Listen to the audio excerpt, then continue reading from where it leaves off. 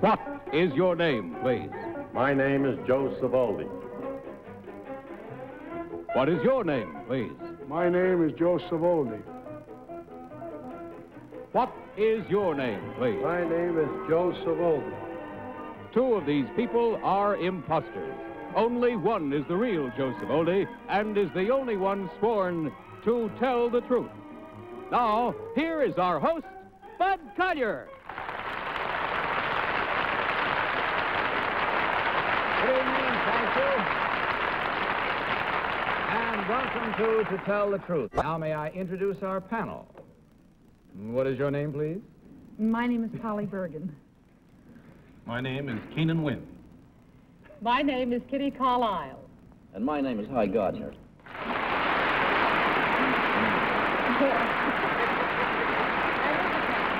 Yes, yes. Keenan, I must say it was nice of you to decide to do a Paramount picture with Sophia Loren back here in the East, because when we learned you were here, we grabbed you. Well, I think it's wonderful, and I know Sophie will enjoy the plug. So that's well, it's a sincere welcome from all of us. Glad to Thank have you. back. Now, these three gentlemen, as you heard, all claim to be Joe Savoldi. Only one, of course, is the real Joe Savoldi. The other two have merely assumed that identity, and they are the ones who do not have to stick to the truth. As is our custom panel, you'll find copies of an affidavit in front of you. Will you please open them and have them before you while I read from the original? I, Joe Savoldi, am a graduate of the University of Notre Dame, where I played football under Knute Rockne and was twice voted All-American. After college, I became a professional wrestler and was recognized as world's champion. During World War II, as an American OSS agent with General Wild Bill Donovan, I participated in a mission which led to the surrender of the entire Italian fleet. Signed, Joe Savoldi.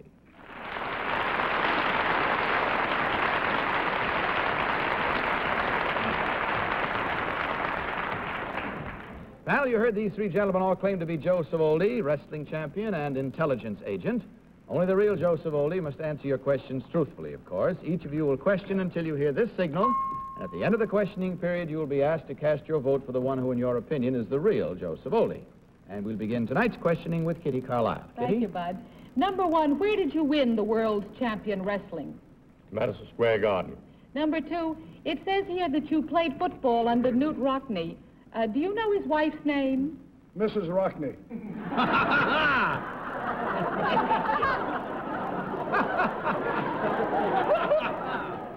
Number three, what was the mission that led to the surrender of the entire Italian fleet? The Gerosi mission. The Gerosi mission? Gerosi mission. Can you, can you enlarge on that? Well, we were told to uh, infiltrate the uh, enemy lines and so that we can lead the uh, our boys over to uh, the Italian admiral at that time was Admiral Gerosi, who was supposed to hand over the Italian fleet and surrender. That was in 1943. Number one, Hy, Gardner. Uh, number two, uh, what is Strangler Lewis's first name? Ed, I think. Uh-huh. Number three, who was the most famous promoter of professional wrestling? He used to walk around with spats and carry a cane and Uh, so forth. Jack Curley. Uh, do you know number two? No, I don't. Number one? I do. What's his name? Curley. Uh, number one, who was known uh, in, to sports writers as Joe the Gunner? Joe the DeGonoff was a Broadway character. Uh-huh. Number two, uh, was the late Knute Rockne a, a redhead, uh, brown, or was he bald? I don't think he had hair. Would you, uh, what would you say, number three? He was bald. Uh, number three, what was the, uh, what is the name of the former heavyweight champion of the world who is still uh, uh, wrestling professionally? Would you know number two? Jimmy Landis? Uh, number one, would you know? Uh, Primo Carnera. Uh, number one, uh, one more question. Uh, you fellas, yeah, Holly you Bergen. certainly do. I never trust Hy when he uses all those names because I never know which one of them are real and which aren't. It's so tricky. Number one, uh, when did Dan Chamberlain uh, hold the wrestling championship? Never heard of him. Number two, could you tell me? Never heard of him. Number three, Never heard of him. um. Well, I can't work every week. I never heard of him either. Me either. I Number, knew him personally. did you? Number two, uh, who were the four horsemen? Could you name them? Well, I think it was Crowley, Stuhldreher, and uh, Layden. I think uh, Number one, how do you Miller. spell Stuhldreher? Oh, come on, I got it in. S T U H R U H E R R E E R. Spells Polly. E R E Uh, R E. Keenan Wynn. Yeah, I'm sorry I Still asked. Well, of course, most of the things that I was thinking of, Jack Curley, I knew, I knew Mr. Curley. And all. Did you wrestle, number two, did you wrestle, ever wrestle in Yankee Stadium? yes, Uh, what name did you use as a pro wrestler at that time? Jumping Joe Savoldi. That's odd. uh, what was the name, number three, what was the name of the flagship of the Italian fleet? I wouldn't know. Number two? I don't remember. Number three? Number one? I wouldn't know. I don't either. That makes four. Well, I don't either. The time is all gone. It's time to cast your ballots, if you will, please, panel. And in so doing, of course, without consultation, vote for number one, number two, or number three. Remember that the team of challengers will get $250 for every incorrect vote. All set, panel? Polly, are you ready? No. Get set. and go. For whom did you vote? I vote for number two because I think his left ear is cauliflower. And I don't know whether you, I don't know whether you get that when you wrestle, but I know you do when you prize fight, and maybe you do when you wrestle. So I voted for him, which means he's probably a prize fighter and not Joe Savoldi. Keenan, what about your selection? I voted for number two because he knew Knute Rockne's wife's name. And your vote, Kitty? I voted for number one based on some of those probably phony questions from Hy and the fact that number three stammered on uh, the, the mission. I didn't feel that infiltrating behind the lines had much to do with the fleet. Hmm? And Hy Gardner? Well, I voted for number three. Uh, number two has the, the usual husky voice of a wrestler or a, a fighter, but uh, and, and wrestlers are hard to identify when they're sitting down. But uh, uh, number three, I think, uh, when we came to Knute Rockne being bald, he said it with such uh, uh, so definitely that I went for three. Okay, there we have it. The votes are in, the minds are made up. Let's see how they compare with the way you've done in your voting at home. And I hope you are playing along with us there as we discover which one of these three gentlemen is the wrestling champion and erstwhile intelligence agent. So will the real Joe Savoldi please stand up?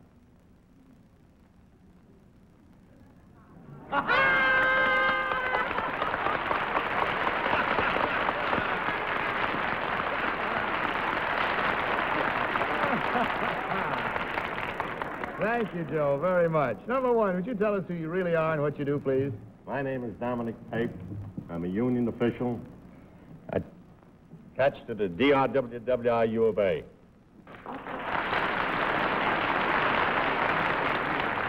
Mr. Pape, would you mind transferring all those initials for us, please? Distillery Rectifiers Wineworkers International Union of America. That does it. also the way you spell Stuhldreher. And number three, what about you? sir? My name is Ben Vitale, and I am the Borough Secretary of Brooklyn. So what he does now? Ask Joe what he does now. You Yes. ask Joe what he does Joe, now. what do you do now? I'm in the insurance business in South Bend, Indiana. I represent the Federal Life Insurance Company of Chicago with the Arnold Gilman Agency in the Oddfellows Building in South Bend, Indiana. Thank Joe, what do you do now? I mean, uh, checked up on the score here, we find that there were two incorrect votes at $250 each for a total of $500 from Marlboro. Gentlemen, you'll find a carton of Marlboros for each of you on the way out. Thanks for being with us. Good night and good luck.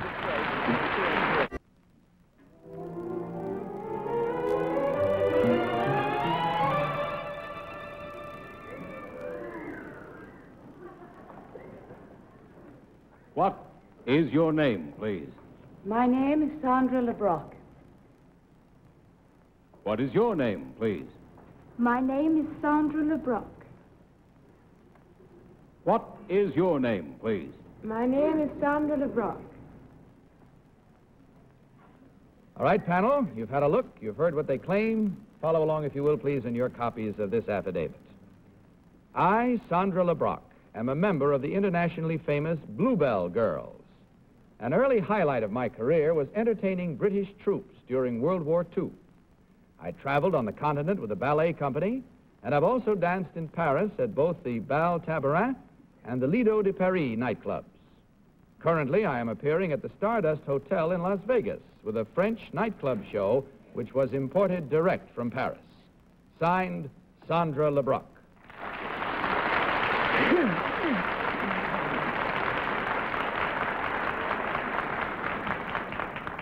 Now, panel, you heard these lovely young ladies all claim to be Sandra LeBrock, Paris showgirl. Let's begin this cross-examination with Hy Gardner. Hy? Uh, where did you first wrestle? Uh, oh, that's uh, number one, uh, where in Paris is the Lido located? On the Avenue Champs-Élysées. Uh, number two, in, in what part of uh, Paris will you find the Folies Bergère? Um, I, I really don't know. Would you know number three? That's in Montmartre. Uh, number three, what is the name of the publicity man at the Stardust? Our publicity man is uh, Johnny Augustine. Uh, would you know number one? Uh, his name is Mr. Murphy. Uh-huh. Would you know number two? I think his name's Mr. Murphy. Uh-huh. Number two, in, in what Las Vegas newspaper do you read the columns of, of Winchell, Gardner, and a number of other people? I'm afraid I don't know. Would you know number one? Uh, I've read them, but I can't quite remember. Would you know number three? I can't recall either. No. Uh-huh. Uh, number one, who? Polly? Number one, if you're standing in front of the Stardust Hotel, what is the hotel to your left directly across the street? Uh, to my left, That's right. let's see now, the Desert Inn is uh, on that side. Number two, could you tell me? It's the Desert Inn. To the left, if you're standing in front of the Stardust, would be over there. Number three, could you tell me? It's opposite the Desert Inn. None of them have ever been in Las Vegas. ever. Because I just came from there, and they're all wrong. Um, Maybe you're more observant than they are. That's possible. Number one, what is the color of the dining room at the Stardust? Oh, it's pink. The walls are very beautiful. Number two, color. where is the orchestra located in the dining room? Um, it's on the left-hand side of the stage. Keenan? Yeah, number two, what is the name of the organization that handled entertainment, the British organization that would be equal to our USO? What was the name of it? En- entertainment for the troops during the war. I really don't know. Number three, I don't know either. We was not for a certain organization. number one. Ensa. Number one, uh, how old were you at the time that you entertained the troops? well, I was uh, at the time attending a dancing school, a small one, during the war, and I was about 10 years old. I see. Whereabouts did you entertain the British troops? Um, in Wales. In Wales. Kitty? Number one, what were the Tiller girls? Tiller girls, they were a group of dancers. Number two, uh, is Sandra LeBrock your real name or is it a stage name? Uh, it's my real name. Number three, uh, where do you live in Paris? In Paris, we stayed just off the Champs-Élysées, about five minutes walk from What there, street? in a hotel. It was on a, on a square. You don't know the name of it? Uh, it was Place Diana. Well, number one, uh, what arrondissement was it? Um, sort of straight ahead. Well, come see, come saw. And here we go for a vote because our time is up for any further questions. So without consultation, once again, panel, will you mark your ballots and select number one, number two, or number three? Oh, Polly, you're firm and first, huh? Whom did you vote? I voted for me because I'm the only Oh, one. Don't tell us. Well, I'm the only one that could answer all the questions. Well, I, then I, I'll just pick from them standing up there because that. none Pick of from them them knew standing up anything.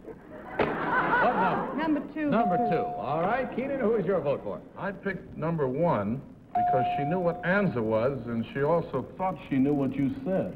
No, I didn't. Kitty, for whom was your vote? I voted for number one, although she didn't know what I said. An arrondissement is a zone. Of course it is. And, uh, but she's the right color from having come from Las Vegas. And also she knew about ENSA. All right, and your vote now, Hy. Well, I voted for number one because she knew the name of the press agent for the Stardust, Murphy, Gene Murphy. Okay, there we have it. Now let's see how well we made out. As we discover which one of these three equally lovely ladies is the real Paris showgirl, dancer, etc., etc. So will the real Sandra LeBrock please stand up? you see there, Polly? and you weren't going to vote, eh? Thank you very much, Sandra. No. Very sorry, but I thought you were facing the Stardust when No, you said standing in front of the In that case, it's the Well, other when she stood in front of it, she faced it, you see. Yeah, all right. Number one, would you tell us who you really are and what you do, please? My name is Pamela Reiner. I'm a housewife and mother of three children.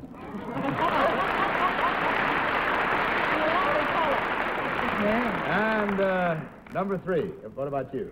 My name is Angela Welsh, and I'm an airline stewardess with Pan American Airways.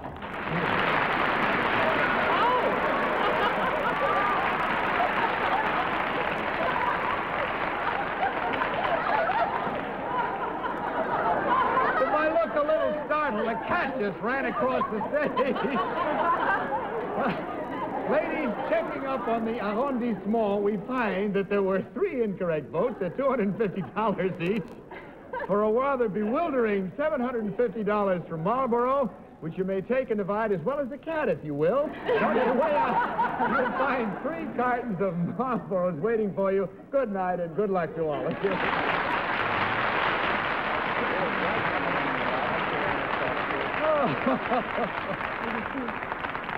All right. Now, while we're feeding the kitty, let's take time out for a minute. All right, panel, let's meet our third team of challengers.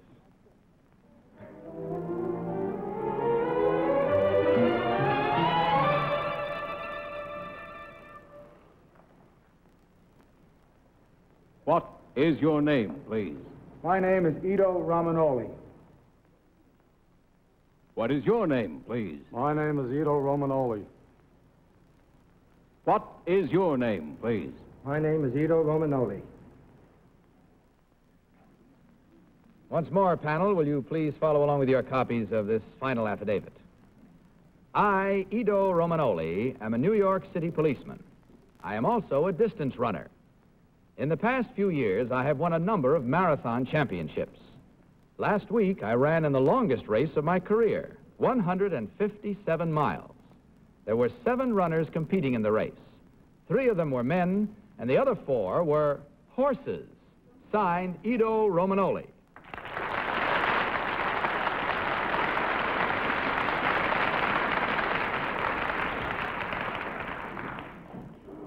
All right, panel, these three gentlemen all claim to be Edo Romagnoli, as you heard. Marathon runner, policeman. We'll start this round with Polly Bergen. Polly? Thank you, Bud. Number one, um, who won, you or the horse? Well, let's see. When I stopped after 118 miles, uh, I was ahead of two horses who had quit completely. Two men were far outdistanced. I was ahead of uh, 15 miles ahead of the third horse, and I was about two miles behind the horse that eventually won. Number two, uh, do, do, you- do, it said that you ran uh, uh, 157 miles. Do you get to stop at all during that time? Well, yes, I stopped three times, actually. They allow you then to, Yeah, to have a slight rest rest. at any time in between. Oh, I see. Uh, number three, where was the race located? In uh, Salt Lake City. That's where it started. In Salt Lake City. Where did it terminate? In uh, Roosevelt, Utah. Keenan? Number one, do the horses have to assume a kneeling starting position? Uh, everybody took off from a standing start. The answer is nay, nay. Oh! you bet on horses? Uh, I bet on myself this time. Well, uh, who's the present police commissioner? Uh, Mr. Stephen Kennedy. Uh, how long is a marathon, number two? Well, actually, a marathon is 26 miles, 385 yards. That's the official uh, distance. Number three, what's your badge number? 1427. What precinct? Kitty? Number one, what is it, Billy? Oh, that's a little uh, wooden stick that a policeman Number carries. two, do policemen at this point carry billies? At what point is that? Well, right now. I mean, right now. You don't know. Yeah, we do carry. You do um, carry billies. Yeah. Number three, in this race with the horses, were you the favorite? No, I was the dark horse. Number one, were the horses being led or were they ridden or how did they get 118 miles by Well, themselves? uh, the horses had a rider. Oh. And, and uh, they had like trailers in front of them that uh, they could stop whenever they wanted. Hy, Gardner. Uh, number three, who was flying Bob McAllister? Well, he was a um, former police inspector who was a uh, very outstanding athlete, and uh, Uh-huh. track man. Number one, did you know uh, who uh, McAllister was? He was before my time. Number two? So it was before my time. Uh, number two, what is your badge number? 3745. What precinct? 66. Where is that? That's in Brooklyn. Uh, number one, uh, what is the name of the form that a policeman must fill out immediately uh, after an accident or the scene of a crime? Is it the name that's given to it? I think it's a UF6. Uh, what number is it, number three? UF6. Uh-huh. Number two, uh, is it true that a New York cop has to pay for his own bullets? Certainly. How much, uh, That's it. Time once again to vote. So will you please mark your ballots for a selection of number one, number two, or number three. Have you marked your ballots, panel? Uh, anchor lady, have you marked your ballot? Oh, Or well. who did you vote? I should stick with my hunches tonight, but I'm not going to. Uh, I'm going to vote for number two. I, I think it's number three, but uh, no, I really do, actually. But I voted for number two because he is the smallest, and if you have to run that far, you can't be too big after it's over, can you? We didn't say anything about malnutrition during Well, that's a long run, Yeah, it is a goodness long- sake, How you can't be, you know. Well, Keenan, what about your selection? I went for number one because he looks very athletic to me, and he made a lot of sense when he talked about the length of the race. He explained it very accurately. Huh? Kitty, your selection? I voted for number one. Also on the basis of his uh, physiognomy and because he gave the complicated setup of the race a very good shake, I thought, as Keenan did. And I Hy, voted Gardner, for your number selection. one, too, Bud, because I liked his answers, particularly the form. And furthermore, uh, he was a diplomat. He called the commissioner Mister. All right, there we have it. Now let's see how close we've come to the truth. As we discover which one of these three stalwart gentlemen is the real marathon runner, whether he shrank or not, so will the real Edo Romagnoli. Please stand up.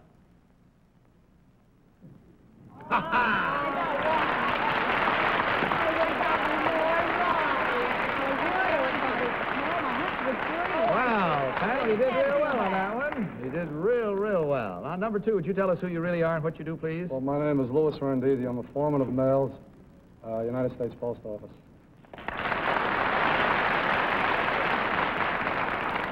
And number three, what about you, sir? I'm Ralph Daviano, superintendent of of the Rye Recreation Commission in Rye, New York. Well, there it is. We find that the panel did real well with you gentlemen, meaning there was only one incorrect vote at $250 for that total from Marlboro. Thank you very much, gentlemen. Hope you had fun. We did. On your way out, you'll find that there is a carton of Marlboros for each of you. Thanks a lot again, and good night.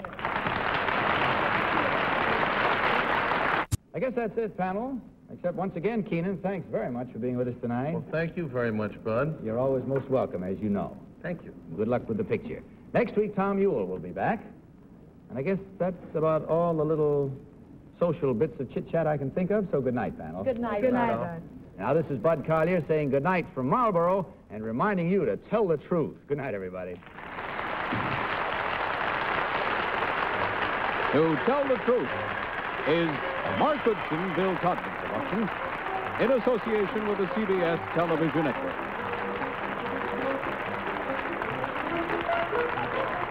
Miss Bergen's Gown by Wilma.